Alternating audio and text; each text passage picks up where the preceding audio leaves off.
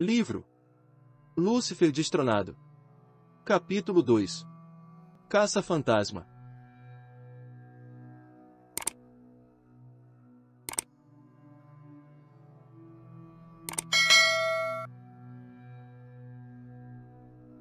Era escuro como uma cripta naquele subsolo. Talvez porque estivéssemos sentados num lugar bem junto a uma cripta, no porão, embaixo do departamento de música da faculdade que eu frequentava. Éramos cinco ou seis estudantes, sentados em círculo no chão, com as pernas cruzadas, de mãos dadas, no escuro. Invocávamos o espírito da mulher que estava sepultada do outro lado de duas enormes portas de carvalho, naquele subsolo do departamento de música. O líder do círculo na nossa pequena sessão espírita estava um ano à minha frente na faculdade, e sem dúvida, havia se desenvolvido mais do que eu em magia negra. Era Halloween, e nada melhor do que comemorá-lo invocando o espírito de alguém que tinha sido uma das pessoas de maior destaque naquela comunidade. A mulher fora sepultada no subsolo do departamento de música porque seu marido contribuíra não só para a construção da capela situada acima, como também para a edificação de vários outros edifícios no campus universitário. Tal como acontecia com os benfeitores na Idade Média, foi desejo seu que o túmulo da esposa ficasse instalado sob o altar principal da igreja que ele havia construído. Nosso líder, Dave, não é esse o seu verdadeiro nome, clamou, em voz grave e bem fúnebre. Invocamos o espírito de FW. Queremos penetrar o véu do além e falar com ela. Nada ouvimos, a não ser o nosso coração batendo um pouco mais forte do que o normal. Dave continuou. O F, o F. Nós invocamos. Rasgue esse véu e comunique-se conosco. Isso é tudo o que queremos. Dê-nos um sinal de que há vida além da morte. O silêncio que se seguiu criou um ambiente agorento, as trevas eram mais tangíveis a cada minuto. De repente, as enormes portas de carvalho que nos separavam do jazigo começaram a trepidar. A princípio, um tanto pausadamente, mas, depois de alguns segundos, nós, que nos encontrávamos sentados em círculo, ouvimos um ruído alto e estrondoso. Quase nos matamos, debandando, a toda, do porão, naquela noite fria de Halloween. Lá fora, respiramos bem fundo e fomos a uma pizzaria para avaliarmos nossa experiência parapsicológica. O que não sabíamos é que estávamos prestes a receber a lição de que, com certeza, o seu pecado vai ser descoberto. Eu era encarregado, na faculdade, de atender as pessoas na biblioteca do departamento de música. Possuía, assim, uma chave do local. Foi desse modo que pudemos ir ao subsolo do departamento após o horário normal. Eu tinha de permanecer naquele departamento boa parte do tempo depois do expediente. Os estudantes de música costumavam vir a mim também com questões e problemas. Na semana seguinte à nossa sessão espírita, vários alunos, que nada sabiam da nossa tentativa de invocar o espírito de uma pessoa morta, pois mantivemos o caso em segredo entre nós, vieram até mim para fazer estranhas indagações, do tipo: Quem está tocando piano lá na sala 4? Tinham ouvido nitidamente o som do piano e chegaram a ir à sala 4 para verificar quem estava tocando, mas não encontraram ninguém. Aparentemente, tratava-se sempre da mesma melodia. Se isso não bastasse, certa noite eu estava na sala do chefe do departamento fazendo cópias de fitas cassetes para ele quando, inexplicavelmente, a mesma melodia surgiu nas fitas cassetes que eu estava copiando, sem qualquer explicação de como isso poderia ter acontecido. O departamento de música começou, então, a ganhar certa reputação. Um dia, um estudante corpulento ao entrar no departamento, foi imediatamente arremessado para fora por poderosas mãos invisíveis, com uma força tal que chegou a deslocar os seus ombros. De outra feita, uma freira viu uma mulher de baixa estatura, mas bastante robusta, descendo pelos corredores, trajando um vestido verde de cetim. Posteriormente, ficamos sabendo que a descrição da mulher coincidirá com o retrato oficial de FW. Em outra ocasião, ainda, uma aparição atingiu-me em cheio. Eu tinha o cuidado de nunca ficar nas salas com a luz apagada. Por experiência, sabia que as pessoas que se aventurassem a entrar no departamento de música com as luzes todas apagadas, normalmente sairiam dali com lesões no corpo. Mas, numa noite, tinha acabado de sair do departamento com um casal de amigos, quando me dei conta de que havia esquecido alguma coisa. Voltei ao recinto, estando as luzes apagadas, e nem me lembrei de acendê-las. Mal havia dado alguns passos no hall de entrada quando senti uma coisa repugnante agarrar a barriga da minha perna esquerda, prendendo-a com garras abrasadoras. Em toda a minha perna que latejava, senti como se a pele estivesse queimando. Gritei e saí mancando do departamento, quase chorando de dor. O exame médico constatou que havia uma lesão do tipo queimadura, aproximadamente do tamanho de uma mão, na barriga da minha perna. Por várias semanas, depois desse incidente, tive que andar visivelmente mancando. Por estranho que pareça, durante cerca de 10 anos não cresceram pelos na região afetada. Um dos episódios mais espantosos, com respeito a essas coisas assombrosas, ocorreu quando a cidade de Dubuque foi atingida, certa noite, por forte tempestade. O mau tempo causou a interrupção do fornecimento de energia elétrica em todo o campus. Como eu era o encarregado da biblioteca do departamento, o de um dos alunos me pediu que ficasse vigiando as portas do departamento, do departamento, trancadas.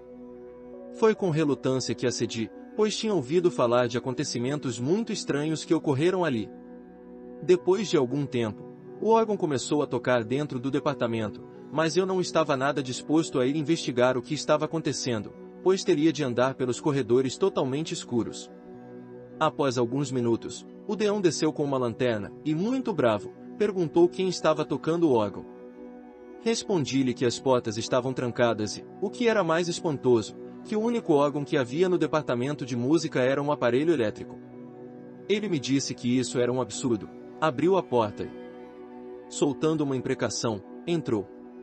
Assim que ele penetrou a escuridão do departamento, sua lanterna, misteriosamente, se fez em pedaços em sua mão. Saímos correndo de lá, enquanto o órgão continuava tocando. Tal como um contágio, os acontecimentos sobrenaturais foram se espalhando para as outras faculdades locais. Uma jovem, amiga de um dos rapazes presentes na reunião que detonara todos esses acontecimentos, e que agora considerávamos ignóbil, teve uma experiência e tanto. Ela sentiu a presença de, e depois viu, uma enorme criatura, a semelhança de um lagarto, arrastando-se até a sua cama, no seu dormitório, enquanto, paralisada, assistia a coisa permanecer em cima do seu cobertor durante um período de tempo que parecia uma eternidade. Sua companheira de quarto, ao chegar, deparando-se com o intruso, gritou, assustada, e ele imediatamente desapareceu. Toda essa agitação causada pelo sobrenatural, no entanto, serviu apenas para alimentar o meu interesse pelo ocultismo. Decidi que, uma vez que eu havia contribuído para a vinda do espírito, tinha a responsabilidade de mandá-lo de, volta para o seu descanso. Comprei, então, um manual de feitiçaria, intitulado A Maior Chave de Salomão em inglês, The Greater Q.F. Solomon, que continha rituais mágicos de exorcismo. Eu me dispunha a fazer o que fosse necessário para lançar naquele espírito tudo o que estivesse no livro, a fim de fazê-lo parar de vez. No dia do aniversário da morte da referida mulher, diversos amigos meus reuniram-se do lado de fora do porão da capela. Ali estavam para ver o que iria acontecer comigo. Eu abri a porta do departamento de música e, segurando o livro, fui até as terríveis portas de carvalho. Meu coração disparava como uma britadeira. Abri as portas que davam para o túmulo e entrei. O jazigo, em mármore, atingia um metro de altura do piso do subsolo. Eu já sabia disso, pois tinha feito previamente um reconhecimento do local à plena luz do dia. Agora, porém, a única luz que havia era da rua, que vinha de um semicírculo de janelas que circundavam a enorme cripta. Fazia tanto frio no local que dava para ouvir a minha respiração ofegante. Eu sabia, de meus estudos, que um frio sobrenatural é sinal de um elevado grau de atividade paranormal. Andei, então, em volta do túmulo e comecei a recitar o ritual de exorcismo do livro, com a voz mais firme e autoritária que eu conseguia naquelas circunstâncias. Minha voz soava de modo sobrenatural e reverberava no espaço vazio de pedra da cripta, mas não foi interrompido por outros sons e movimentos. Do lado de fora, meus amigos aguardavam os acontecimentos com ansiedade, uma grande parte deles esperava ver-me arremessado para fora, pelas janelas, fragmentado em pequenos pedaços, por ter ousado entrar no túmulo da pobre mulher. Estavam também de guarda, pela segurança do campus. Lá dentro, finalmente, concluí todo o ritual, um tanto enfadonho. Então, Conjurei o espírito a que fosse embora e que nunca mais retor retornasse. Contive minha respiração por um instante, para ver se algo acontecia. Nada aconteceu. Finalmente, num ato de triunfalismo jovem, subi no túmulo e desafiei a temível F. W. A fazer alguma coisa. Nada. Depois de alguns minutos, fechei o livro, deixei calmamente a cripta, saí e tranquei a porta do departamento de música. Meus amigos se alegraram quando me viram, mas, no fundo do meu coração, eu achava que eles estivessem esperando uma manifestação visível e espetacular, com raios e luzes saindo do lugar. Pelo que sei, isso foi o fim das ocorrências paranormais no departamento de música. Fiquei conhecido como o exorcista da faculdade.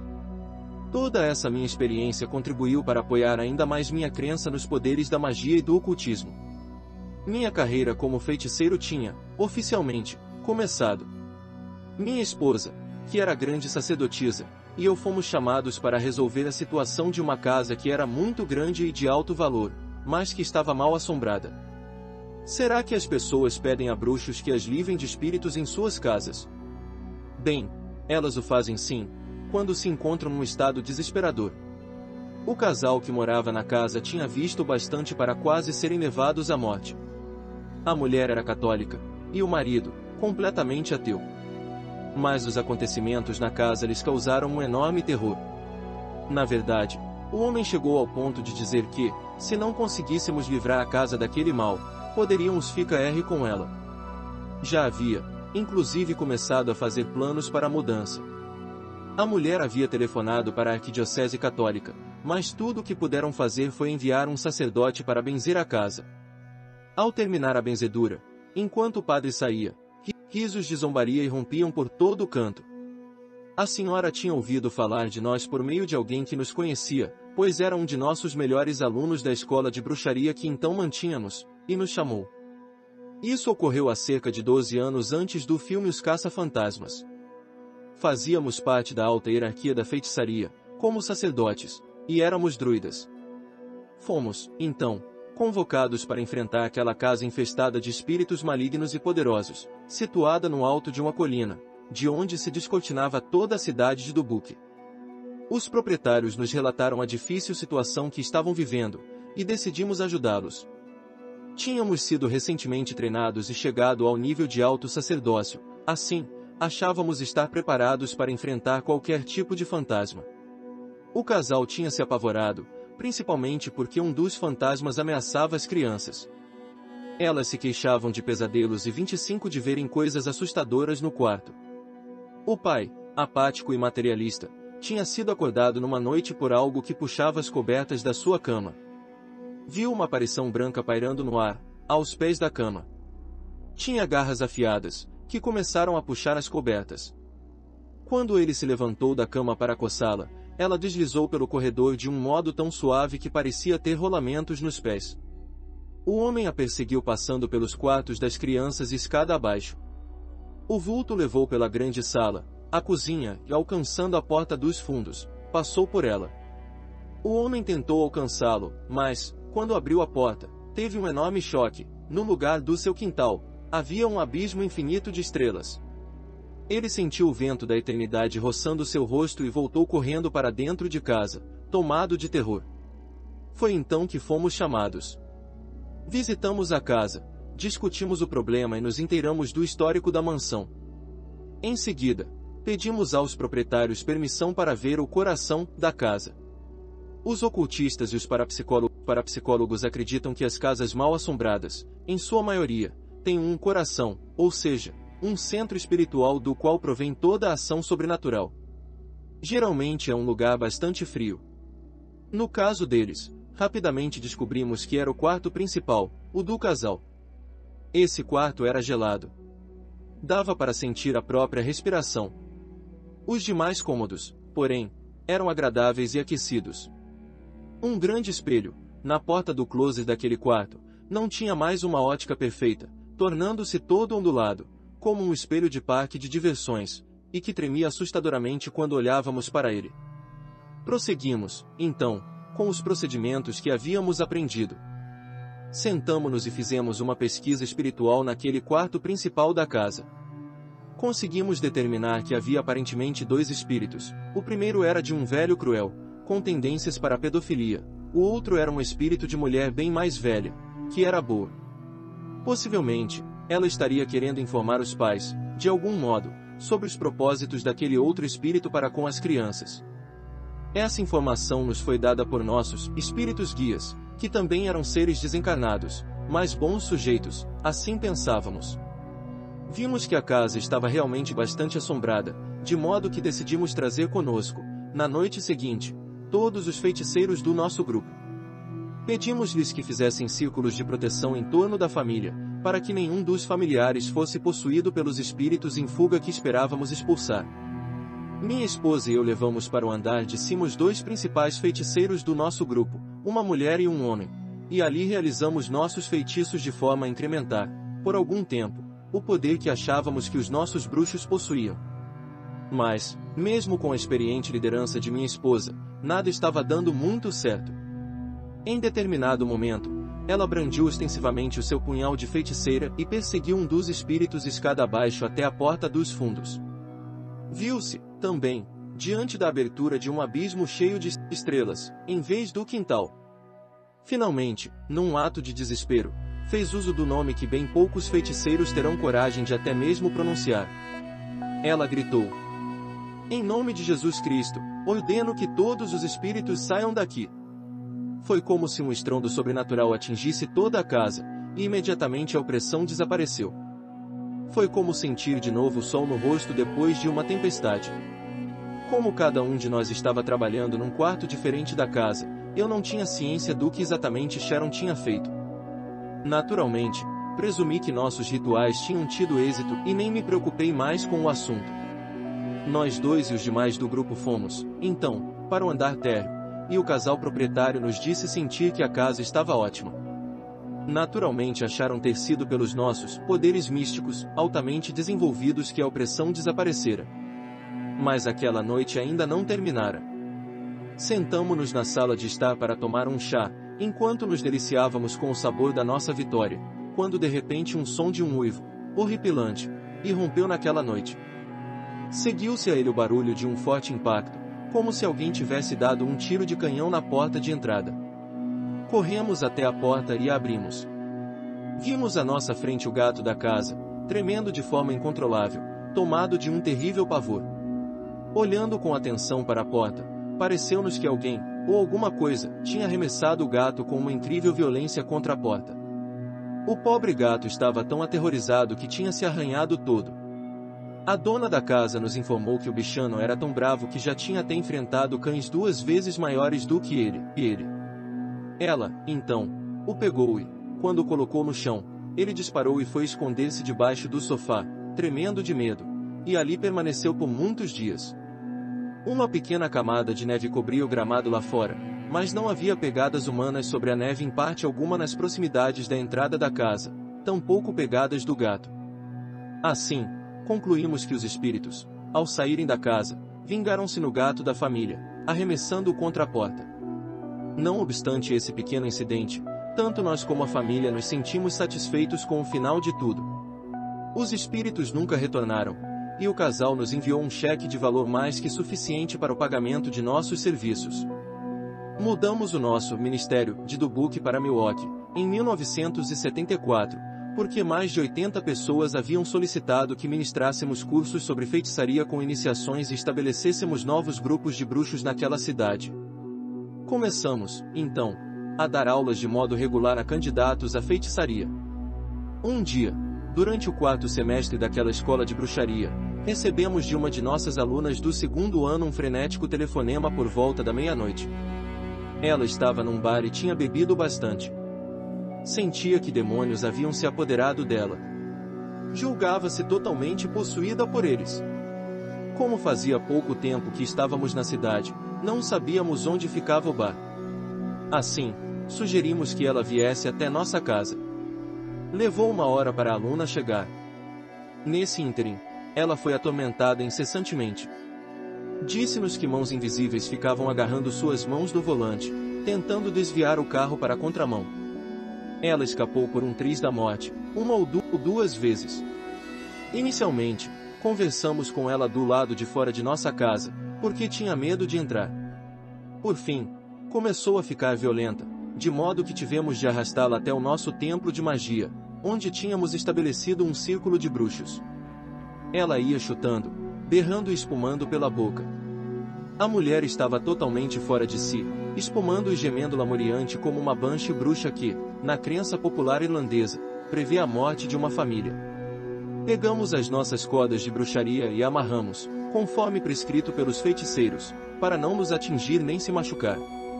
Aquela altura, eu me sentia bastante confiante, pois, como parte do meu treinamento ocultista, havia iniciado meus estudos de preparo para o sacerdócio da Igreja Católica Romana Antiga e igreja existente nos Estados Unidos, ou de Roman Catholic Church, que se declara sucessora da Igreja Católica Histórica, não sendo ligada ao Vaticano, e já recebido o grau menor de ordenação. Significa que eu havia recebido a santa ordenação de exorcista e com ela, supostamente, o poder de expelir demônios. Considerando todo o nosso treinamento em magia, nosso poder de grande sacerdote na feitiçaria e os manuais que consultávamos, achamos que a nossa tarefa seria extremamente fácil. Quatro horas depois, no entanto, nossa aluna continuava se retorcendo, chutando e proferindo pragas malignas contra nós. Tínhamos colocado um círculo mágico, em torno dela, dentro dos limites do nosso templo, e tentado de tudo, para expelir os demônios que a atormentavam. Lançamos mão dos rituais de exorcismo do livro A Maior Chave de Salomão e dos manuais e textos de bruxaria de que dispunhamos. Cheguei até mesmo a ler todo o ritual católico romano de exorcismo, rezando em nome de Jesus Cristo e borrifando sobre ela um pouco de água benta. Mas tudo isso só fez aumentar sua fúria, dela ou deles.